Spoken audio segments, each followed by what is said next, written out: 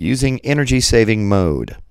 When a vat is idle for a period of time, the energy saving mode lowers the set point of the vat, reducing energy consumption and stress on the oil. Answer yes to the energy saving question with the check mark. The vat is in energy saving mode and the set point is reduced, usually about 100 degrees. An exit button appears on vats in energy saving mode. Press the exit energy saving button to return the vat to operating set point. The controller can be programmed to enter energy saving mode after a defined period of inactivity.